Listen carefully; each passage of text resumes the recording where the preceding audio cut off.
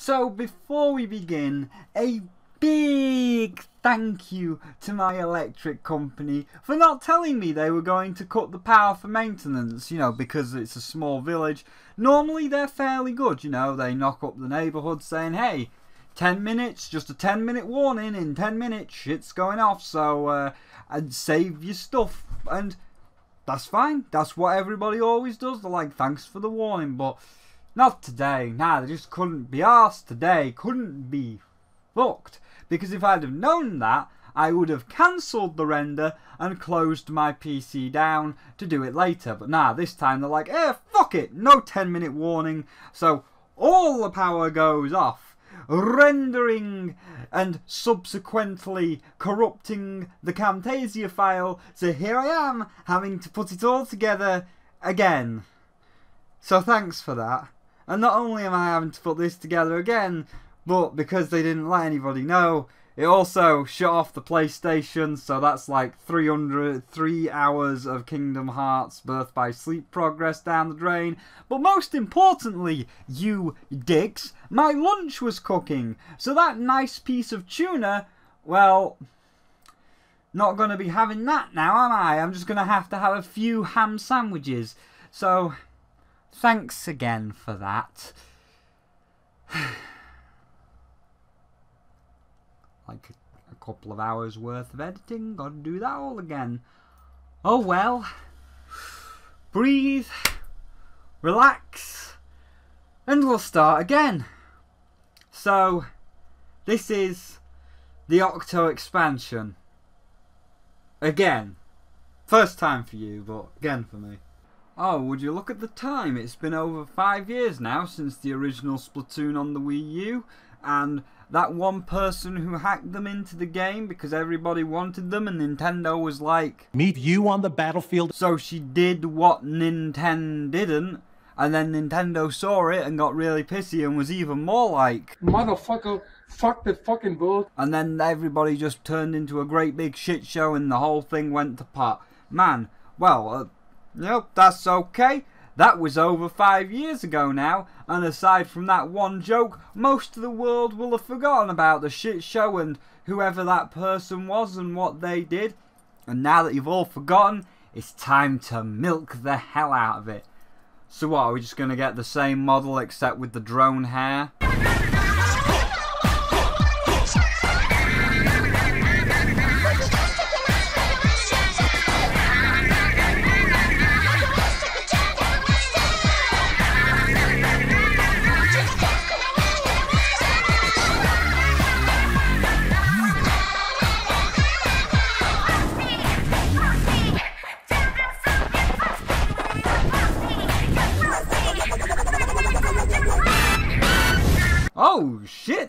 It's not just a slight model change, it's a full DLC with new levels and everything. Well, shit. I bet I get a. Uh, that's pretty good. Well done, Nintendo, and it's a paid DLC, so clearly there's been a lot of effort put in, so shit, I guess I better get changed for the occasion. Yeah, when they first came out, or should I say, first seen in Splatoon 1. I loved them, and like many others, we all like, here's a couple of pictures from me, and then Stormy or Mal the Otter. Everybody got one. Everybody was like, I love them. They look better than the Inklings. They're cooler than the Inklings. And their drone armor and like brainwashing, hypnotizing goggles. Oh, of course everybody wanted it. And, of course, nowadays my affections lie elsewhere in the universe that we'll get into later, but there's the Octolings, they'll always have a special place. And they never came to Splatoon 1, kind of, but never officially came to Splatoon 1. And here they are in Splatoon 2. But we do have to buy them, so it is a bit of a bittersweet moment. But regardless, this is the Octo expansion.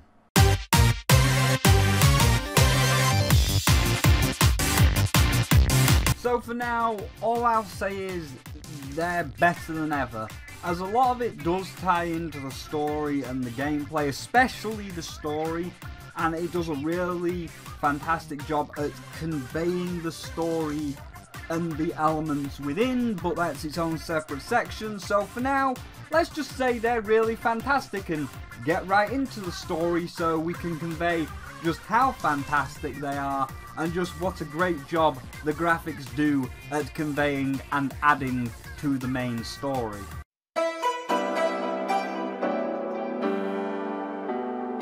So, this is why this review has been delayed for about a week, as it did come out at E3, and I played a fair bit of it across that day, and boom, I could type out half the review instantly. But it was one that had that good draw. The more I saw, the more I wanted to see to the end to really review it as I was invested and I wanted to see what happens next. And certain story elements come up and you're like, oh well, hey, I could, I could just, you know, type the review. But it's like, yeah, but Spyro, you need to see it to the end to really understand the why. Because if you type that bit about the story, because it's a spoiler, so that's why I'm not saying anything, but if you type about that bit, and you're like, oh, it's to do with this. Well, it's not to do with this because you never saw it to the end. Like, why is that a thing? And it's like, ah, okay. Yeah, well, at the end you find the why. And it's like, right, well, I guess I'll delay it and I'll keep going. And I'm glad I did keep going. So the story, as you may assume from me trying not to spoil it, the spoilers will come later, is a rather interesting one, as you might have guessed via the Octo expansion. We are now playing as the titular Octoling. This has been sought after for quite some time, and while it's a far cry from what we expected, you know, it's it's uh, definitely not your typical reverse rebirth situation where you go through the story backwards as a quote unquote villain, starting from like the final base and then getting closer to the good guys. Like uh, if you think Kingdom Hearts or Castle Oblivion from Chain of Memories, Sora went up the tower, but every world he saw was in sequential order, like Traverse Town, Easy, then into Deep Jungle, Medium, into Halloween Town Hard to Hollow Bastion, the final level. But then when you play as Riku, you obviously went through the Portal of Darkness in the first one, so the first person you store was Maleficent in the Hollow Bastion, the final base. So then you go Hollow Bastion hard at the start, then into Halloween Town, medium, and then to Traverse Town easy. It kind of plays backwards. But here, it's not just your simple, you start off at the uh, Octavio area and move up through the Octo Canyon to Inkopolis.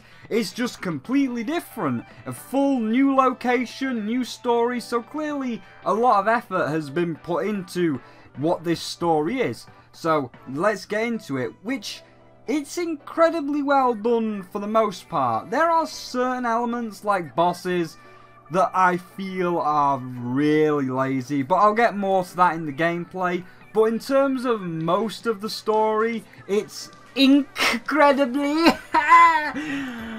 kill me. Well done and by the end the real reveal is really fucking dark. And I love the characterization and how it's all set up. It does take a lot of inspiration from Portal like all of the stations you will go to are called test chambers. You are a test subject and you're being pulled along by a faceless robotic voice that speaks to you in the case of the phone coaxing you on was here, much like how GLaDOS would coax you on in Portal 1, because while we do know what she is now, in Portal 1, you just woke up and GLaDOS was telling you to go on. You didn't know who she was or what she looked like until the end, so it is very heavily inspired by Portal, and if you've played Portal 1, then you'll probably already guess where everything's going. But the, the, the dark twist was actually a lot more of a surprise, especially for a Nintendo game of this nature. So, yeah, you have the, the phone coaxing you onwards through these test chambers to set that sense of unease. And as I say, they nail the unease as you go further and further through the test chambers, seeing the bosses that seem to be slightly off in some way, and then as you get the the pieces of the puzzle and you start to piece what that puzzle is, what exactly your main goal is, you're like, oh, oh dear, that that doesn't seem good. So you are an octoling that wakes up in a train station with a creepy old man looming over you, and you have lost your memories. So, ooh, that's always good when you wake up next to an old man and can't remember what happened the previous night. Here we are, children. Come and get your lollipops. Lollipops. Come along, my little ones. But once you have got the image of Captain Cuttlefish's wrinkly old penis out of your head, he is bad mouthing you and basically looking for a fight. As being a war veteran, he has some deep seated racism against that filthy German, I mean Octoling scum, which incidentally due to their situation and them having to work together with their worst enemy and showing how they bond across this journey, in the end, Splatoon 2 portrays racism far better than Detroit Become Human, a game predominantly about racism and prejudice. So, make of that what you will. So, yeah, Cuttlefish wakes you up, and aside from his war scarred instinct of killing those Octoling scum, he has also pretty much lost his memory. Both of you are on some sort of station platform, and the only other thing around you is a mysterious phone. A phone that explains that you, the Octoling, have removed the brainwashing goggles willingly, or in this case, the hypno shades, as they were changed to Splatoon 2 to be these uh, sunglasses. But whichever, glasses or goggles, doesn't matter. I think the goggles look cooler, but whatever, doesn't matter. You have willingly removed them and have shown free will, and you like the inkling music of the Squid Sisters. This song, which I'm going to play Erasure Chains of Love of after, because Nintendo will just fucking content ID me for putting this song in. But this is the song.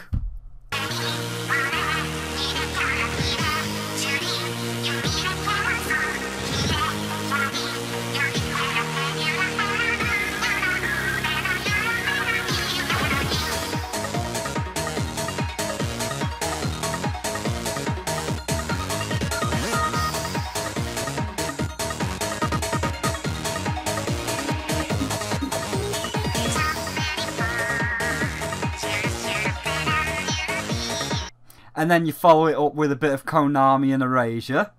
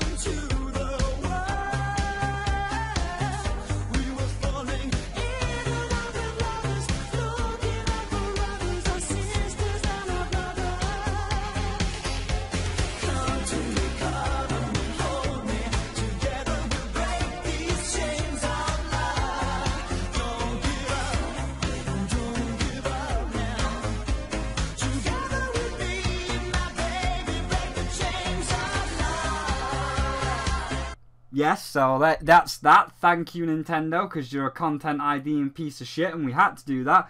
But by hearing that song and becoming free, you are ready to travel to the quote unquote promised land, where The air is fresh, the skies are blue, it's paradise, just like the top of the world tree. This beautiful utopia that the architect created, but only the chosen can get to the top of the world tree, and all of you scum are down at the bottom. So, the quote unquote promised land. If you've played Xenoblade, you'll know what I'm talking about. If you don't, just keep the air quotes in mind as they are very important.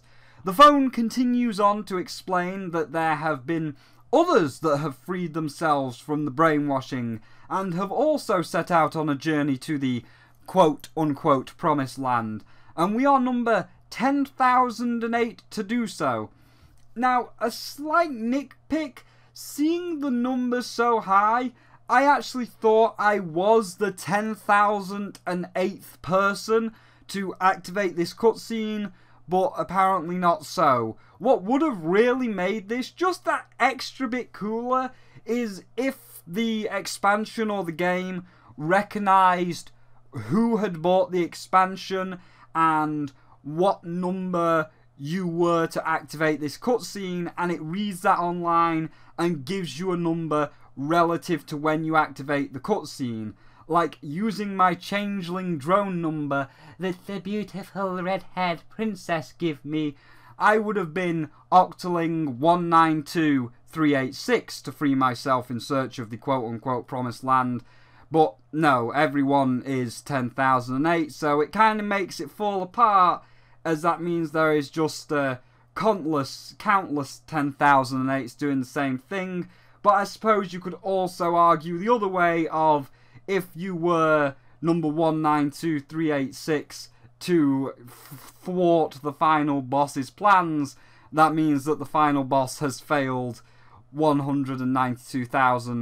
192,386 times and never learned a single thing. But it would still have been a nice touch.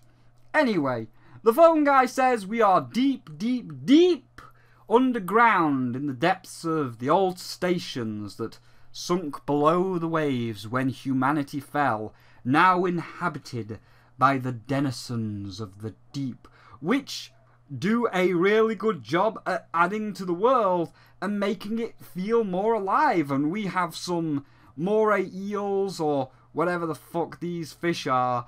And ew! Oh, what the fuck is that? What the fuck is that, dude? It's like got his still beating heart in its head. Oh, what the fuck are those? Oh, the jellyfish heads are like all fused together with one red pulsing vein-like tendril. Oh, that's some fucked up shit. Which, of course, is great, as that's how the deep ocean is supposed to be creepy and fucked up, and everyone agrees. Like, this was Vinny's reaction to the dick clams. This is like nightmare fuel. You walk into an empty subway car in Manhattan, and it's just a bunch of these things hanging from every fucking which way staring at you.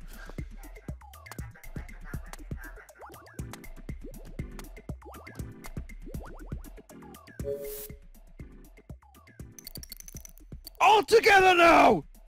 And what makes this even cooler is that everything on this subway train, everything that gets on and off the train, from the businessmen to the eels, are really creatures that really exist in the deep depths. The long headed jellyfish, these long headed jellies, their heads all fused onto that one pulsating vein, this kind of thing.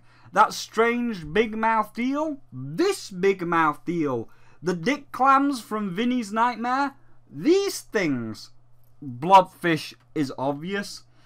As for the, the jock football men, there is a, a debate. Some say they are sea angels, these things, and I can kind of somewhat see the comparisons. Others say it's another kind of jellyfish, this one that has its intestine in its head and they changed it to a heart to be, you know, oh, hearts are pink and it's a little bit more kid friendly than an, an intestine. Me, I would go with the latter, as when I see a sea angel or hear the name sea angel, I would think of a more graceful, feminine, uh, Gardevoir like creature, something that would cast invincibility or something on you, not some crazy, roided up football guy. Anyway, now that we're on the train, we have to stop off at the test chambers to beat them and get the four thangs. Oh, oh, are they like tings? If we get four thangs, can we trade them to the magician and play a mini game for an extra life? Or is that tings only? Are things and are thangs and tings also interchangeable in this current uh, stock market? Maybe. But we have to get the four thangs so that we can tell the conductor, hey, we need to take these four thangs to the phone guy. He'll show us the uh, promised land. So, where is the conductor anyway?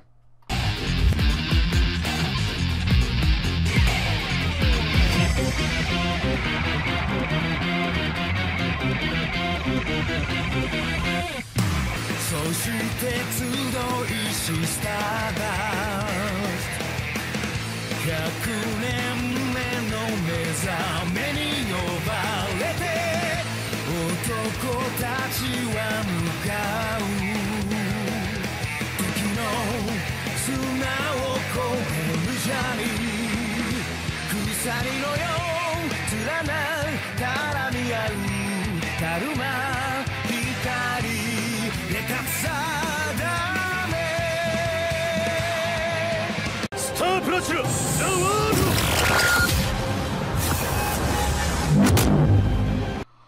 Holy shit! Jotaro! He's in the game! Holy shit! Part, part 5 confirmed! Eh? Nani? Part 5 did get confirmed? Ah, uh, shit, Nintendo knew all along! The JoJo, the JoJo maker told them that he was gonna confirm part 5 this week, so they put Jotaro in the game and released it two weeks before part 5 was announced.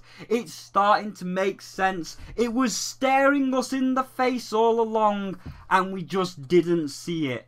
And now you can't tell me it's not. He's predominantly blue, like Jotaro's clothes, and that's Jotaro's hat. Look at them! I mean, of course, there is a slight difference to not have copyright, but you look at them, they are predominantly the same. The navy blue slash black hat with the little gold emblem thing on the side and the gold trim on the front.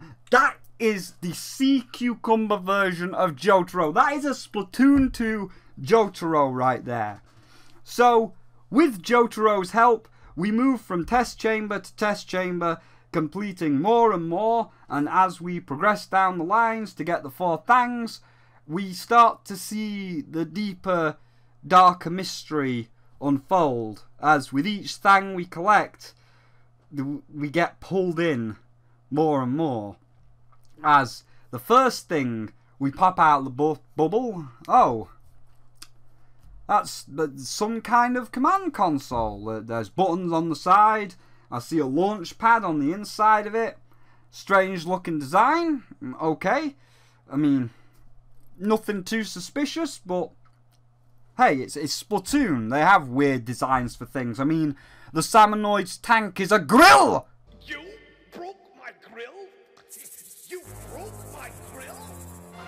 Exactly. So, yeah, nothing out of the ordinary. But then we get led on a little more.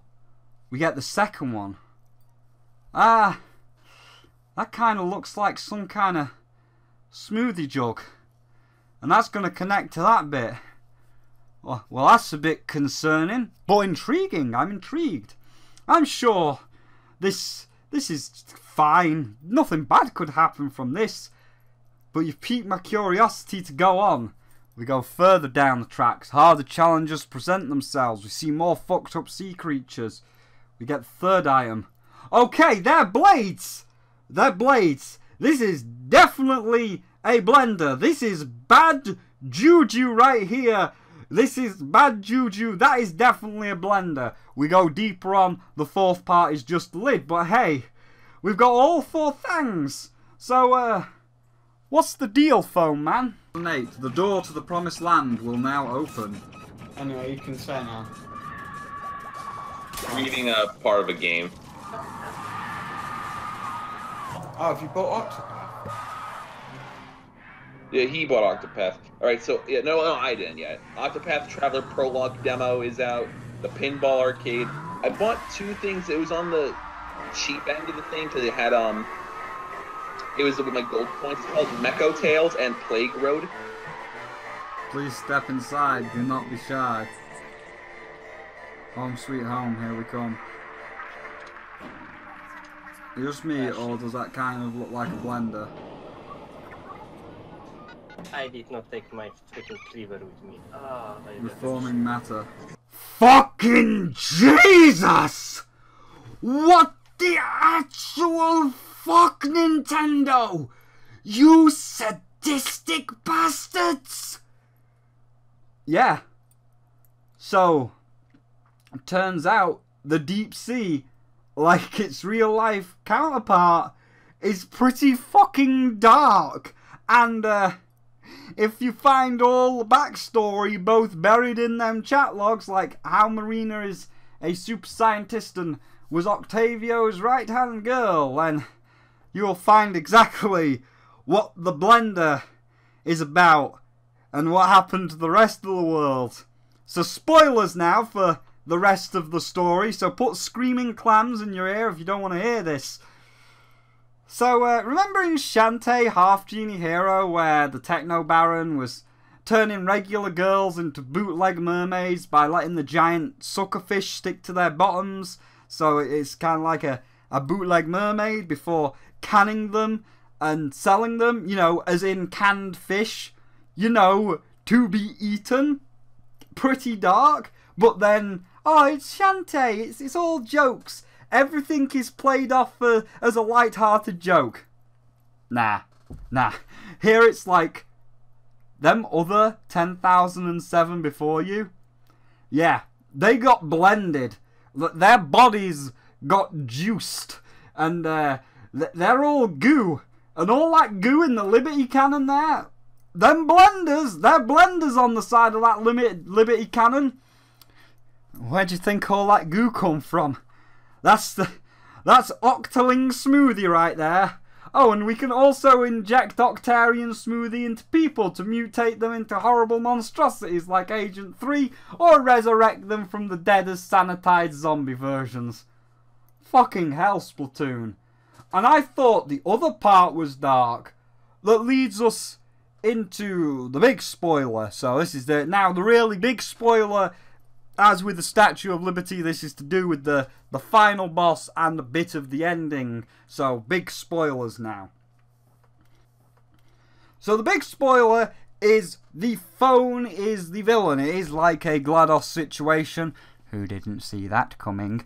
And with the phone situation, it's a phone that is taken over by the goo, kind of. So, it's basically like Inkling or Octoling goo before Octolings ever existed, and when he is monologuing in the Statue of Liberty, he basically says how the professor made him uh, to basically salvage humanity after the Mushroom War, and after Inklings and Octolings evolved, he kind of left you alone in Splatoon 1, but then it saw how you were all selfish little bastards and you just fought over meaningless meaningless hats and clothes and meaningless bits of land despite being exactly the same. Like uh, the inklings and the octolings are pretty much the same barring one having a triangular head and one having a round head racist so he's going to use the the octoling goo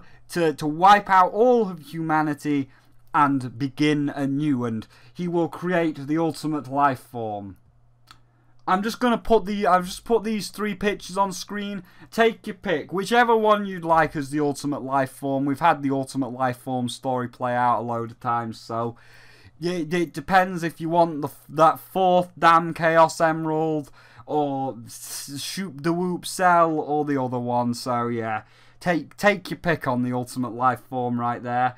I mean, I know considering considering the train conductor I know which ultimate life form we should go with, which is Kars. So yeah, that's That's the one I'll go with because we're, we're fully on the JoJo train with Jotaro being the train driver. But yeah, that's that's about it. He wanted to uh, blast humanity away because your shit and will begin anew. But what's really interesting is as he dies, he's upside down and the text is fucked up.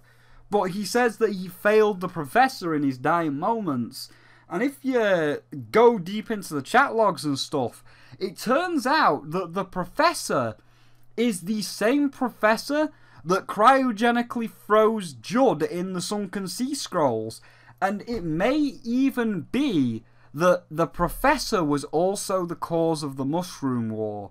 So when the seven rings, like this Salmonoid bit here, when it says the seven rings, the pink fish devoured humanity, those seven rings weren't some magic rings. Those were nuclear bombs exploding in the skies. And he may have been the cause of the nuclear war that happened. And the Salmonoids mutated basically rapidly from all of the radiation and toxic waste that was pouring out into the factories, into the oceans. Like, we even see this on some of the Salmonoid maps. Like, if you look at this container here, that's the biohazard symbol. That's the 28 days later biohazard symbol full of toxic waste. So the Salmonoids basically got mutated rapidly from the toxic waste that was just pouring into their parts of the ocean and then sped up again. So they were mutating via the toxic waste, but then sped up again by the radiation from the nuclear fallout.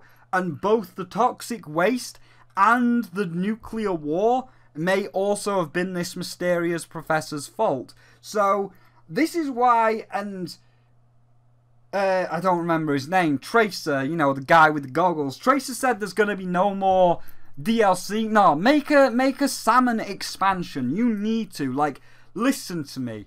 You have got this mysterious professor that A froze Judd. Why the hell did he freeze his cat?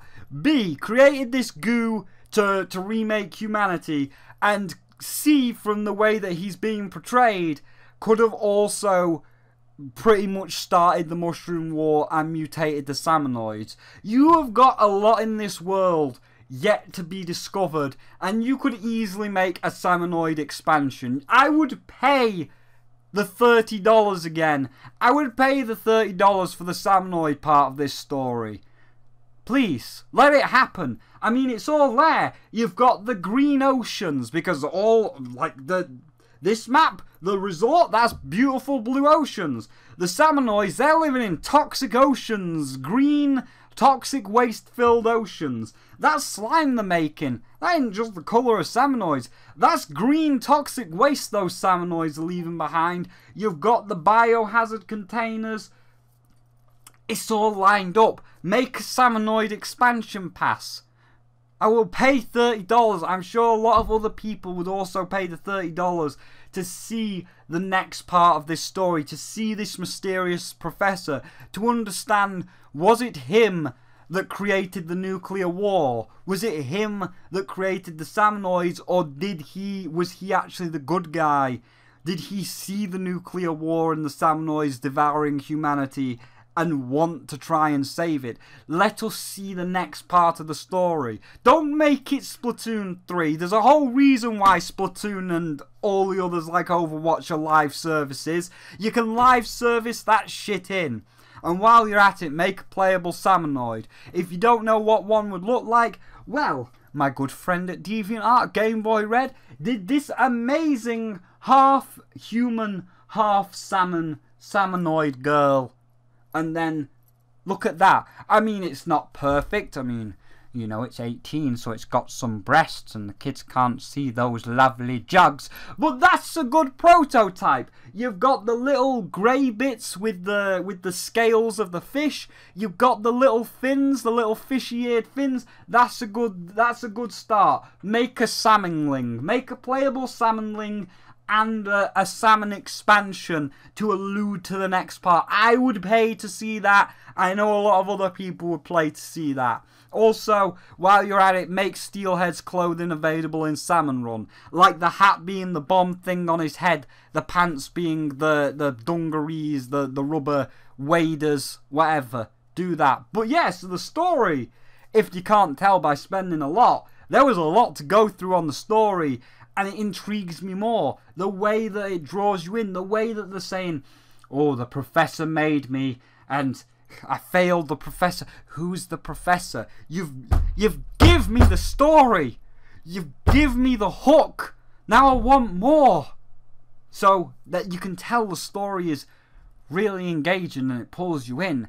And now please, please Mr. Splatoon man, please I will buy your goggles. I will buy your lab coat. I will buy a fake lab coat and impersonate a squid research man just to get close to you and force you to make a salmon DLC so we can learn more about this world. You have made an amazing story and built up the world and made it feel alive.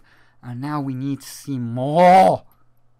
Moving on to the next sections, which are all going to be really short, like the music.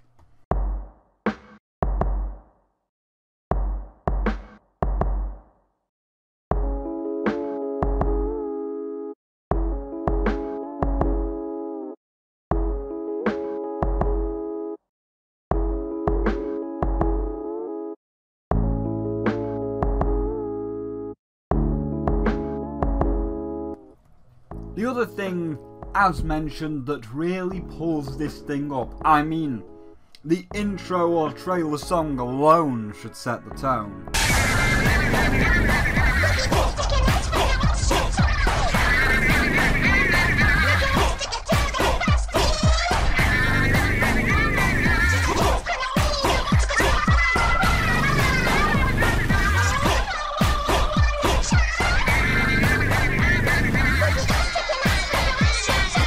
It really shows just how far from the lively, bright city of Inkopolis we are, with some more bassier, deeper feeling tracks, opposed to those rocking guitar riffs like from Splattack.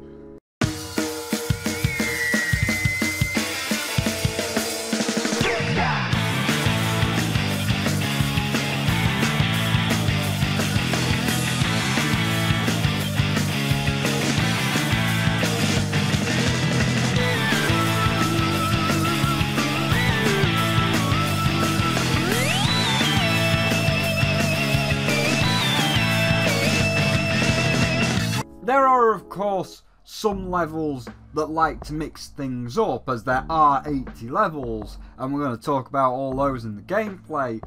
But for the majority of them, they're all more slower, more stranger, more melancholic, more darker to fit with that darker side of the ocean, like the one that you heard mere moments ago for the transition, which is from the 8 ball stages. I'll play a little bit more of it.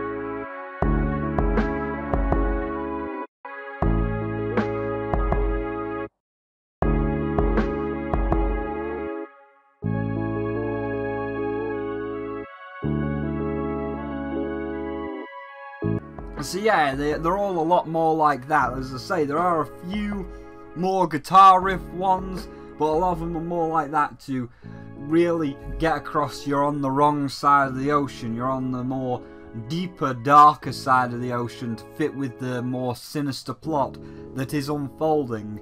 And I'm really glad that they pulled this through, as with the music, I did have fears from the 1.5 update or at least that's what people call it. It was where it was like a huge update. They added a hundred new items of clothes, and it was where the new mode of Clam Blitz was introduced. But during that 1.5 update, they added 15 new tracks, and uh, they're all subpar to say the least. Like, I hate every time the, as I call it, cats screaming onto nails on a rusty chalkboard. Ugh! Hate when that one comes on. This one.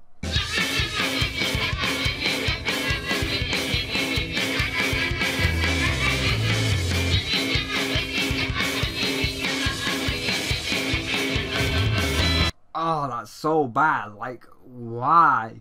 There were some okay ones, like the Mexican trumpet one.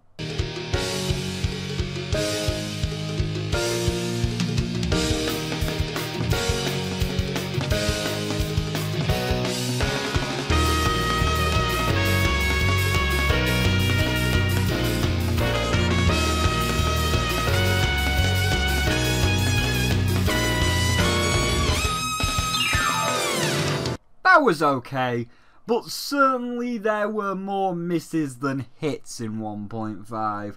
But I'm pleased to say that they went back to their roots on this one, and there is an incredible amount more hits than misses, with only maybe one or two being a bit underwhelming. And, like how we just did at the story, a little admonishing point to the end here about Steelhead Senpai and his salmon brethren and sisters. As mentioned above in the story section, I said about how the phone talks about this professor, the same professor that created him, and the same professor that was the one that she sealed Judd in cryogenic chambers in the hopes of preserving his little cat beyond the Mushroom War, and has been hinted at but could very well be either the same professor that fired the nukes, or at least was the one that tried to have contingencies for when the the world fell. But if it is indeed that he is a bad guy and General Tartar is just an evil bastard because the professor made him that way, well, he could be the one that fired the nukes, and like with Fallout, the subsequent radiation rapidly evolved your everyday fish into a into a, a tidal wave of super salmon that rose up and devoured the world when the seven rings of the mushroom bombs appeared in the skies. So, when you do do a Salmon Run DLC, I really hope you do the music as good as you did it here. And again, also make a playable Salmonling, as that would be amazing, and the very talented Game Boy Redders even give you a good first draft. And if you do do this, something I would love to see, although it is just purely a fantasy at this point, but I think it would be the most fitting, is I would love to have the Gorillaz work on the Salmon music. As when you do do a Salmon DLC, which you will, okay, because there's no reason not to, you can just patch the live stuff in. Again, it's a live service. You can just patch it in. So when you do do a Salmon Run DLC, and you will, or I will come to Reggie's house and knock on his door and ask him in a very polite British manner to do it. When you do do it, please add the Gorillaz to your your list of artists that you will collaborate with. As while working on this review, the Gorillaz' new album, The Now Now, came out, and I've just been listening to that and all their previous tracks while I was typing this, and while going through the Plastic Beach section, a predominantly watery, tropical like album, I realised just how similar some parts are to like Splatoon tracks with the with the more aquatic like feel. And while it won't be a perfect match, I mean you just listen, all you've got to do is replace the real words with gibberish. I mean you just listen to the main theme of the Octo expansion spliced in with rhinestone eyes.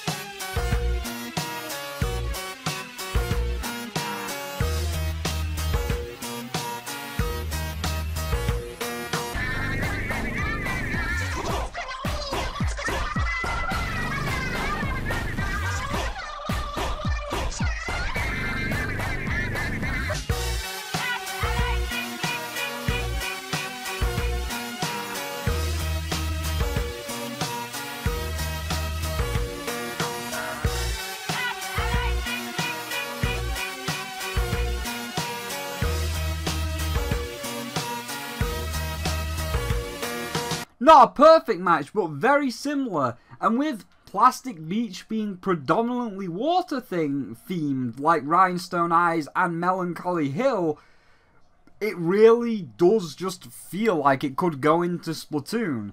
So when you do do the Salmon DLC, it might be worth giving 2D, Noodle, and Russell a call. I can't say about Murdoc as he's in jail right now, and we don't know when he's gonna get out. But can you imagine if it was still Ace from the Powerpuff Girls? We could get the crazy crossover of the Gorillaz, cross Splatoon, cross Powerpuff Girls if Ace was still the lead guitarist, which would be stupid and hilarious as the band could easily fit into the, the Splatoon world and pull off that aquatic feel. So, yeah, overall though, the music was good. Oh, and also when I keep saying about Plastic Beach, it's because you literally referenced it, Splatoon. The very first level of the Octo expansion is literally Plastic Beach with the plastic palm trees and all of the rooms made of artificial things that would normally be found on a beach. I bring them up because you referenced it so they would easily fit in. Well, I mean, it's obvious what we need to. It's obvious the joke I need to make here. What? Well, everything's made of plastic. Oh, oh gee. Yeah, give me a second. It's just loading. What, what are you doing? What, what is this lay joke?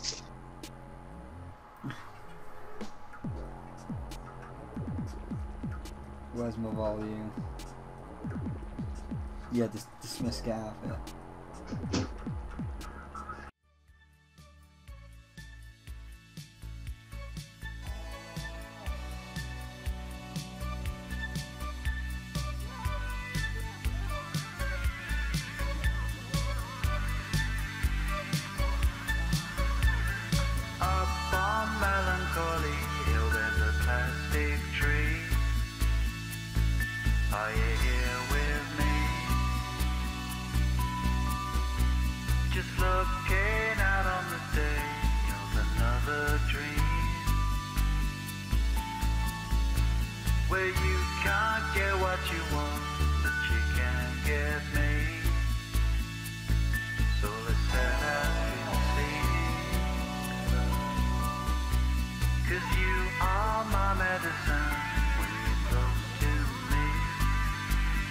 But putting them aside, yeah, overall the music is really great, really fantastic, and uh, they did a good job. So also that's thank you, sir. We're going to move on to the next one, sir, but also let Gorillaz work on the Salmon DLC that you're definitely going to make.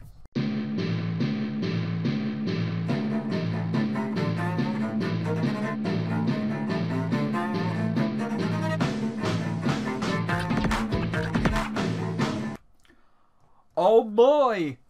You all got your pickaxes? You ready for a journey into the salt mines?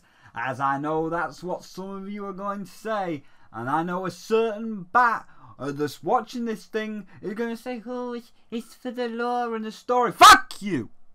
No, it isn't! You should know this.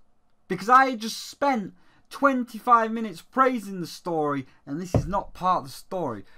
But before we get into that, for the most parts, because that bit, that's that's in the deep depths of this salt-crusted Chilean sea bass of a campaign. For the most part, like I would say, 70% of it, it's the same Splatoon that you know and love, and a whole lot more. And the Octo expansion campaign is far better than Splat 1 or Splat 2 single player combined.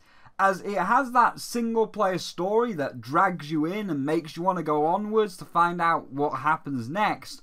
But all them samey standard levels that take 10 minutes at a time have just been completely ditched for more fast paced 2 to 5 minute levels made from the same guys that made the Breath of the Wild shrines and put fucking weapon degradation on the Master Sword and Champion weapons.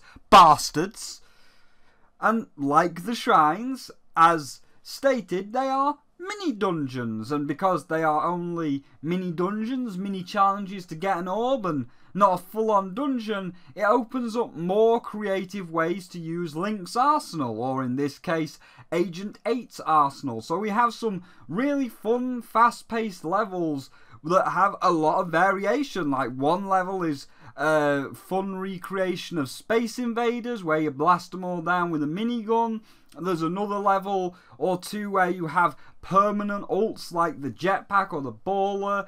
And then there's also the grind rail levels where you have to shoot the targets while on the grind rails, and if you don't, then you just fall and die. And due to the fast paced nature of them, not being able to stop moving, being on a time limit, and of course that rocking music, as I said before, and I say again in this video. God, this is some, this is some bloody Spyro nonsense right here when I've been doing those flights. What is that nonsense down there? Oh no.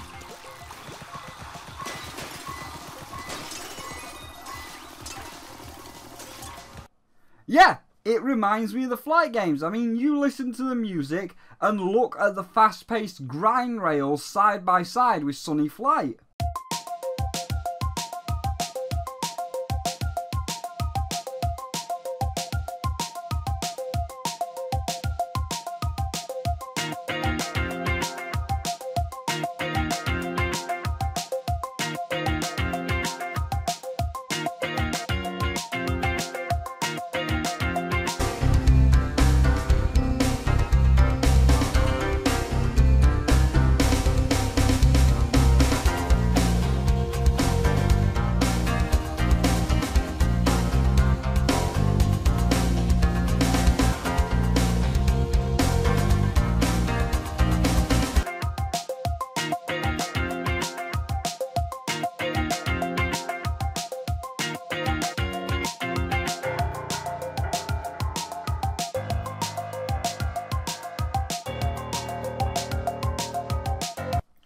That is perfect. That is great. I love that. I fucking love the Octo expansion.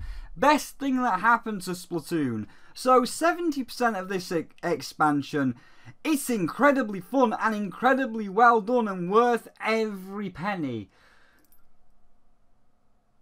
But Steelhead, oh Steelhead Senpai, they could just not make a fun game, could they, Senpai? No, no, no, no, of course not. As you know, in Breath of the Wild shrines, there was some bullshit or lazy things like motion controlled golf dungeons. Yeah, it's the same here.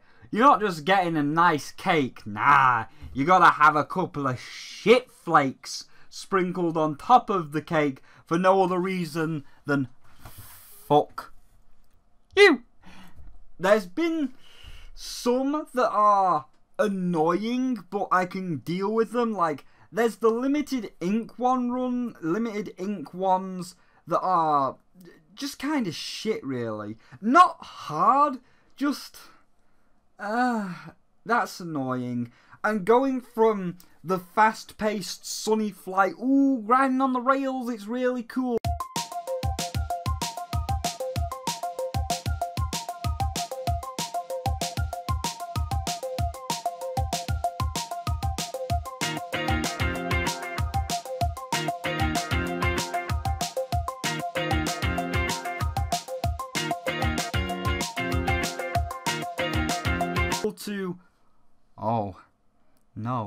Now you gotta be really slow and methodical about every single time you pull the trigger. Don't pull it too hard just little tap to make sure you use a little tap of ink because if you use too much you die and you have to start again.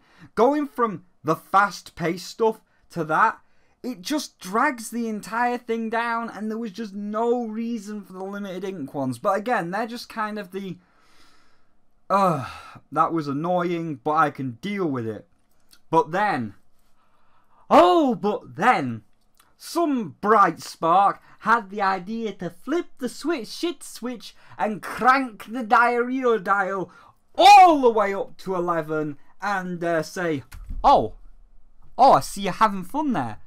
Do you like having fun? Ha, fuck you! Here we go! Fuck you! Mm, yeah, I wanna see you fucking suffer! The true Dark Souls begins here! Let me see you shove that ink squelcher right up your ass! And it's just like, why? Why did you do this? And these levels are either just downright lazy and try to hide behind lore, which, as I stated, is total bollocks, and you know it's total bollocks, as literally moments ago I just spent 25 minutes praising the lore and the story, so fuck you, or they're just so fucking infuriating, goddamn piece of shit levels that are like, right, I get it. The Octo expansion's supposed to be a bit harder than the normal expansion, but this is where you took it too fucking far, and you're not going to patch it because it's been out for two weeks, and you've said you're not going to patch it, and now that just makes you look like a right fucking asshole. And you know the level I'm talking about, the level, like one of the levels I'm talking about, because everybody had trouble on it, and you can probably guess which one I'm going to say. Do you want to take a guess? Good, you were right. It's Girl Power, where you have to defend this orb from waves of Octolings. Mmm, a protect mission. They're always good. However, it is rigged as shit. As yes, they will always spawn in a set pattern, so you know where they're going to spawn, but they have instant ults. So, just for example, if you don't stop them within, oh, I don't know, the first second of them spawning, then that orb is fucking dead. Boom! Dead! And it's bullshit. And nobody likes it. And it's like, you know, the Octoling spawning in waves is bad enough because you're not going to be able to, like, get to one corner, kill them, and get all the way to the other before the orb takes a bit of damage. But then they have their ults instantly. Like, why are they not like a regular multiplayer person that has to at least fucking charge it up so that you have some fucking leniency? Is that too much to ask? And I hated it. And there are several Protect the Orb missions, and I hate them because they are so poorly programmed. And it's like, you were doing so well. We had the Spyro grind rail levels. They were good. We had the 8 balls levels. They were interesting. We had the Space Invader level. That was good. And then you just like, here's a piece of shit. I, I think I think you're having too much fun. Here's a piece of shit. And it's like, why? Why? Why? Why? There's no need to. And nobody, not a single person at the Squid Research Lab could have sat down, played that level, and been like, yep, this is perfectly programmed and this won't piss anybody off at all. Nobody could have seen that. How did that get through testing? Did you even test it, is the question. And then we move on to the bosses, which are by far the worst part of the expansion and are the absolute laziest pieces of shit that I have ever seen, especially because of what it all amounts up to. So, first of all, the bosses are just lazy uh, XD reskins. So, like, you're going to fight the original four bosses of the Splatoon 2 campaign, being the Toaster, the Samurai, the Octo Shower and Cube Man, except they're a little bit harder. Like, oh, the Samurai, you can only fight him using the baller, so you might get knocked off, and then the, the Toaster's got a couple of extra turrets on the top of him, and it's like, that's just fucking lazy. That is so lazy. And then you've got people being like, yeah, but it's for the lore, you know, all of the Octolings got sanitized, which means the bosses have got sanitized. Fuck you! No, they haven't. Right, Number one, point one, the Octo Samurai or the Q or even the goddamn toaster.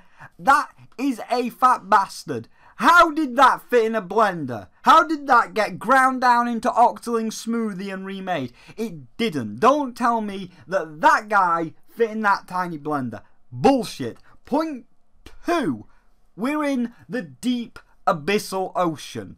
And you're like, oh yeah, but the Octolings are your enemies and all the sea creatures are your friends. Again, bullshit. There are sea creatures in the deep ocean that are absolutely terrifying, like an anglerfish. Look at this thing, right? You look at this. Do you think that cares what is a friend and what is an enemy? Or do you think it just wants to eat your face?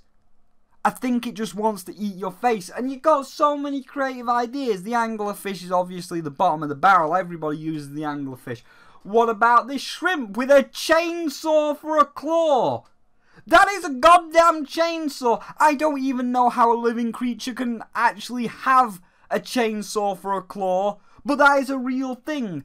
How how would you not be able to make a boss fight with a giant shrimp that has a chainsaw for a claw?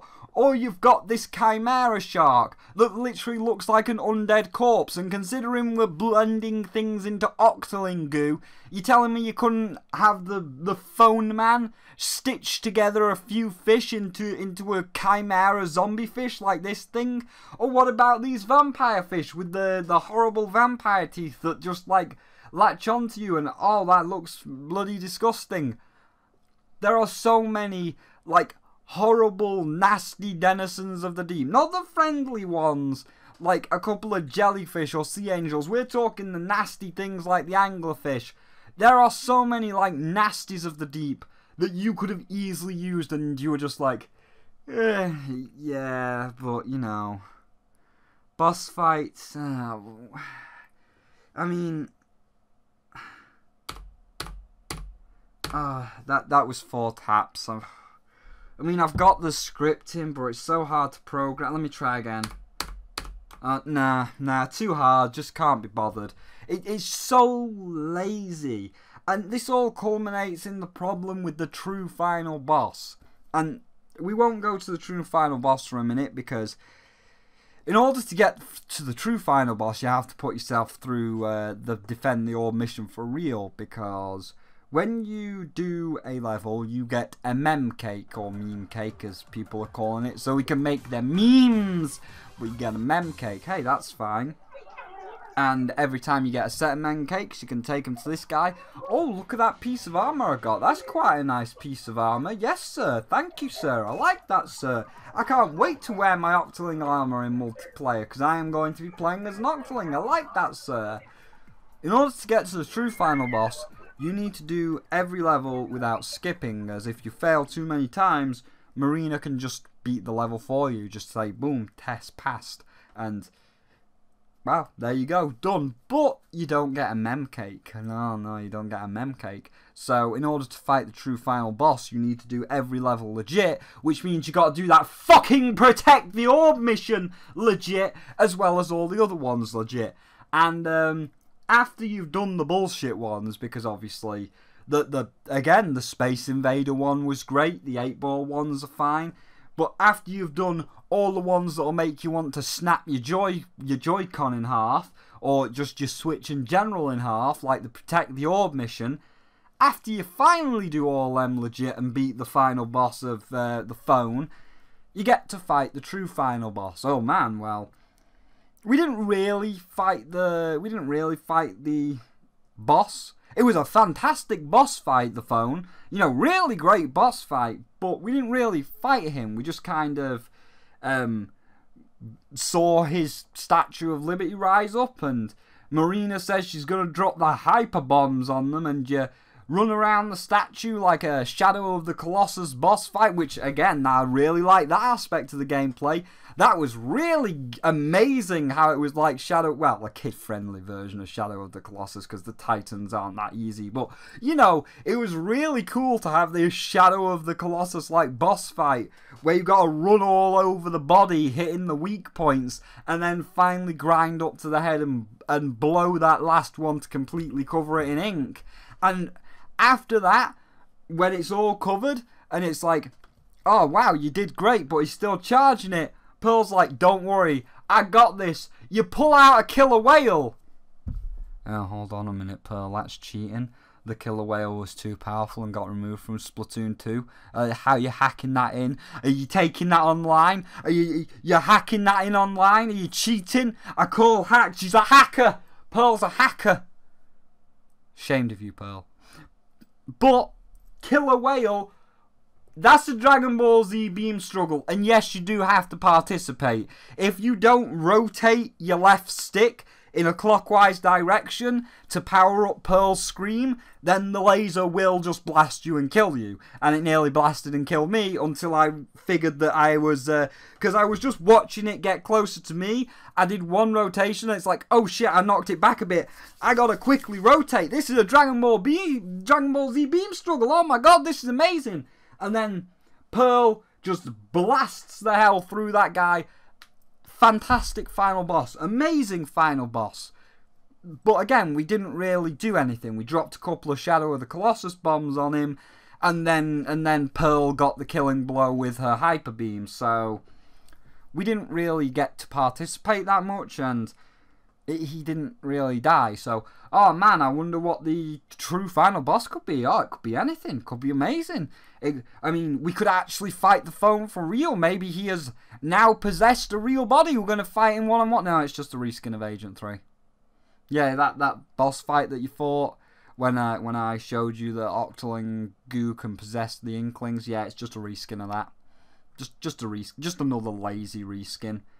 Another terrible, lazy reskin. And what makes it even worse, what makes it even worse, what makes it even more of a piece of shit, and the worst fucking boss in Splatoon history, and just so infuriating and so lazy and slapped together, is the fact that you are playing as a Octoling from the first game, as in, you literally have the HP of uh, an AI Octoling from the first game, i.e., you can't take any damage. One one pellet, one tiny drop of ink from Agent 3's gun, and your shield's already broken. Not like a couple of hits like normal. No, one tiny pellet, your shield's already broken. Also, it takes age. Like if you throw your bomb, that's all your ink gone, and you got to charge it up for ages. Like you are literally playing as an Octoling from Splatoon 1 but the, the reskinned Agent 3,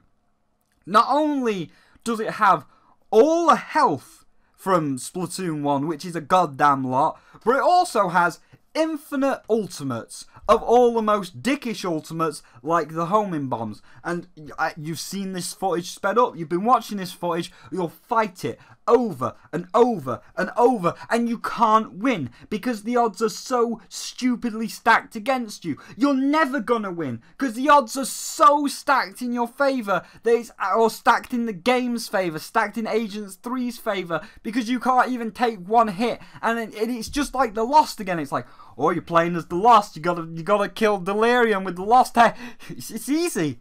It's easy. Just don't get hit. It's that's how easy it is. You don't get hit, you don't die. Come on, Lost. Come on, the Lost. Let's just go fight fucking Delirium. You don't get hit on Delirium. And you're there being like, I can't get hit, can't get hit. And they're spamming homing bombs. She's spamming the super jump. And it's just like, oh, fuck you, just stop. Give me a fucking break. But that's not enough. Nah, that's not enough. It's not enough to already be like pelting you with constant shit when you pretty much die in one hit. Well, two, you know, you get one shield and then you die, but th that's not enough for the game. No, no, that's that's not enough. So, um, the other thing about Agent 3 is in this reskin fight, they regenerate health. They regenerate health at a alarming rate. Like, once you see an opening, you have to fire at a ridiculous rate and not stop firing at them. And if you see that the bullet's coming in to kill you, you basically have to stand there and take that gamble. You have to basically play Russian roulette with Agent 3 and hope that you deal enough damage to knock them into the next phase before that shot hits you and dodge away. Because if you shot them a couple of times and you dodge out the way, then that's it. All their health is already back.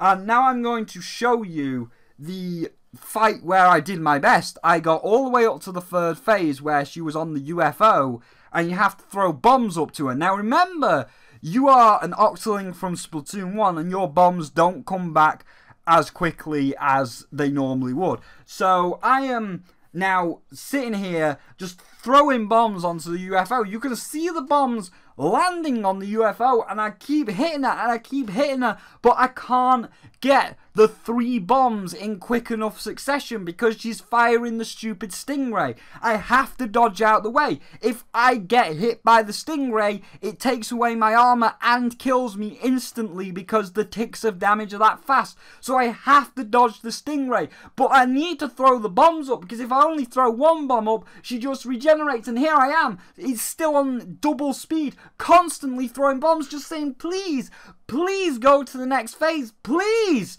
And it just wouldn't happen. It just wouldn't happen. So the odds are so fucking stacked against you. And it's it's just terrible. It's just a terrible fucking boss fight. It's it's not programmed. It's not fucking tested. It's the it's just the bed of chaos all over again. Where it's like, oh, we made a we made a soldier of the wasteland delirium bullshit in the hard can't be arsed boss fight. And it's that bad that when Moon Moon Knight he wouldn't say no. I said, take a break, stop. You've seen the final boss. You don't you don't need to do it. I'm not fucking doing it again.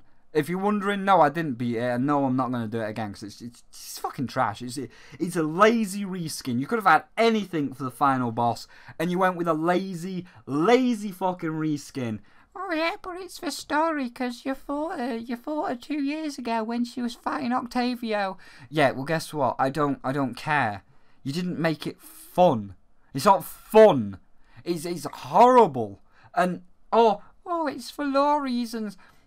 I don't care about that lore. I, I really don't. Because when you when you had the opportunity, why couldn't we play as Octavio then? Why couldn't we control Octavio's ship? You know, some kind of reward for getting all your stupid meme cakes. But no, you don't get a reward. And it was that bad. I said to Moon, don't play it. You've seen it. Don't do it. But Moon, he just couldn't say no, could he? Couldn't say no. He, he kept going through the night and he didn't get any sleep. And then he got he got like a, a blood pressure up and then he felt sick the next day. The boss the boss physically made him ill in real life, and it fucking physically made me ill in real life because I was stressed out and pissed off with it. And then, just to really kick you in the balls, just to really just hammer home how much of a fucking loser you are, how much of a stupid, no life, weeaboo piece of trash you really are. If you collected all the meme cakes, if you did 100%, if you collected all the meme cakes, and somehow, some way, beat Agent 3, the, the, the shitty reskin, with all those odds stacked against you, what do you think you win? Do you think it's like Minecraft or yeah, Minecraft where you win a cool cape? You know, only those people that have met Notch get that cool cape unless you mod it in. But, you know, a mod, you're not really like one of Notch's closest buddies, but if you if you've been to the first ever Minecon or you met Notch in person, oh, you get one of those cool capes. Do you think if you beat this bullshittingly hard boss, you would get her cape. She's wearing one.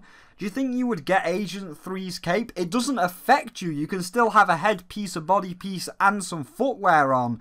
The cape is just saying you, you did something good. Do you think you get something good like that? An actual real reward that everybody can see and they can be like, oh man, that guy got a cape. He's fucking good. He is. No. No. Your reward your reward for putting yourself through all that shit is a toothpick.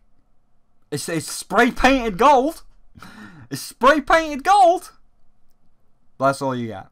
You get a golden toothpick, and it's not like a, a fourth cosmetic that you that just appears on your character as a as a visual thing to say you've done it. It's a headpiece, so you literally have to sacrifice one of your your headpieces if you want to wear it, and that this is what it looks like. I found someone that did it. It's it's fucking toothpick. That's it. That's your reward, and it's it's so fucking it's it's so trash.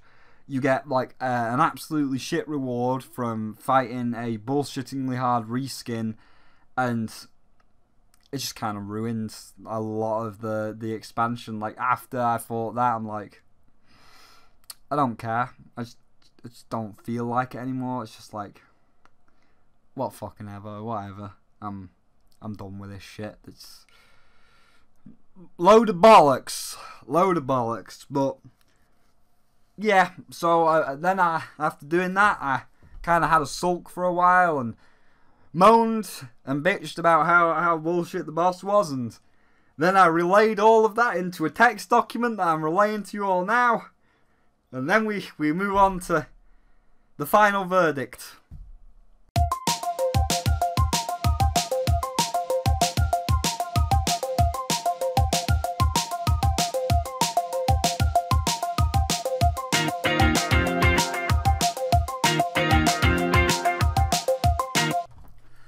So, my final verdict for the Octoling expansion for Splatoon 2 is.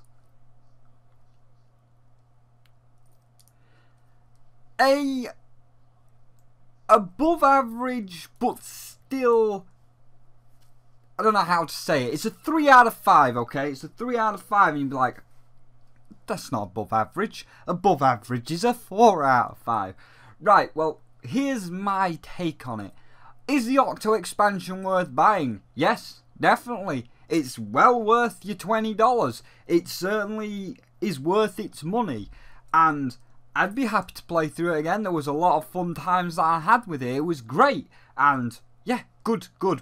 But then there's the, the lazy bosses. That knocks it down a point. There's that fuck awful secret boss, which is just like, no. And then you've got some of the levels like Defend the Orb, which knock it down a second point. And it's like, I really want to give you, I want to say you're above average because you are. You made an incredible story that, that like, led us down this, this portal-esque road to kind of a dark twist at the end. You've set up this professor to be explored more in the Salmon DLC. You did good all of the test chambers. They're nice, quick, fun, fast paced for the most part, rather than the same boring, repetitive 10 minute levels from the regular campaign of Splatoon 1 and 2.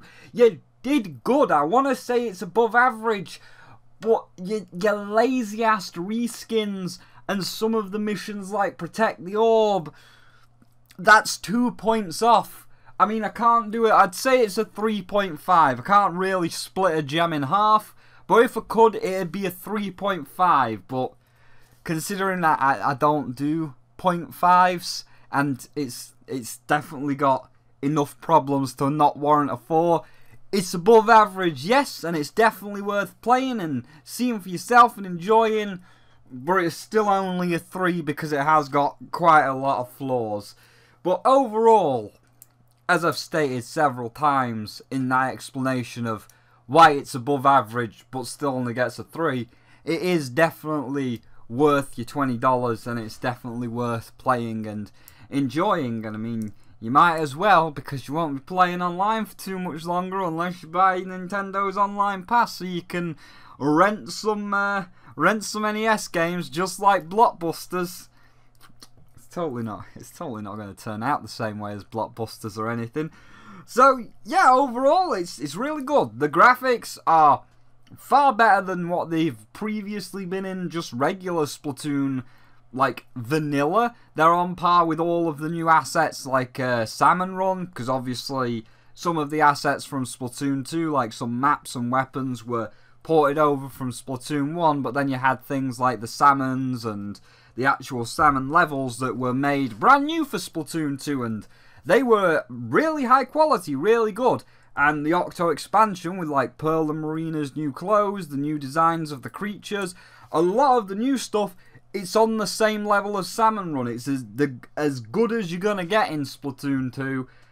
Great. The music, absolutely fantastic. It's some of my favourite music. They really pulled it back from the 1.5 update that had that crappy screaming song, which was just terrible.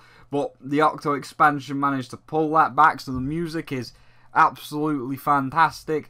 And then, of course, the gameplay is just incredibly fun. Like, I, I really enjoyed it more than either of the two campaigns in Splat 1 or Splat 2, aside from the lazy bosses and certain missions like the limited ink ones and the protect the orb ones. So yeah, overall it's great and um, I'm gonna I'm gonna stop there. This video has been going on for quite some time, and I will be slightly honest. I, I kind of wasn't too motivated to make this. I've got a couple of reviews coming out, and two of them are kind of mocking, which is Command and Conquer Rivals from EA and Five Nights.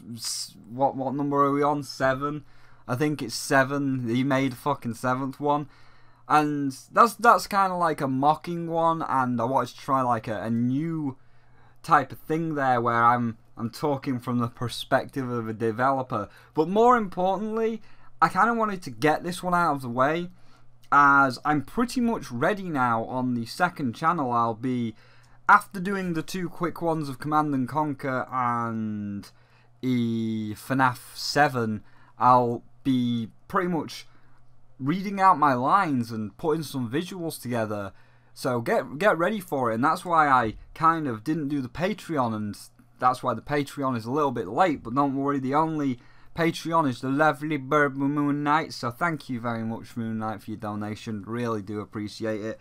But as I say, I, I didn't really do it this month because now, after after all my scripting and planning, I am ready to start doing Inspiration, the the little series that I've had planned for a while. If you don't know what that is, I've got a video somewhere that talks about it. But once that video is actually like put together and done, it'll be uploaded on my other channel because that's the one that I predominantly want for other content. And again, when it's done, I'll go more in depth on that.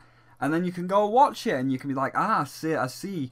And as I was typing the two episodes, because the first one has to be the way it is because of certain aspects of the video and you kind of need to explain what you're doing and explain like why you're doing it so the first one kind of has to be the way it is for reasoning but then the second one is just like every every video that you would see after that like the the formula so to speak so yeah once them are up they're, they're going to be good. But when I was scripting mainly the second one and I was I was typing stuff in, I'm like, I'm actually really excited to work on this. And it's like, yeah, but you still got that Octo expansion that's sitting on Camtasia, just half finished, and I'm like, oh man, I, I I'm, and because it was so long, it's just like, oh no. But a lot of the reviews are going to be a, a lot shorter, and again, I want to focus on something that I think you're a lot of you are really going to like. So more on that probably next week. But for now, I'm just going to go. I'm going to say thank you for watching. Uh, if you like this review, do please feel free to leave a like. Helps out the channel. If you don't want to miss out on the other reviews, then don't forget to hit the subscribe button and bing the bell so the notifications go through. And of course, there are links down below to the public Discord if you want to come in and talk to me, as well as a link to my Twitter if you want to see what I'm tweeting.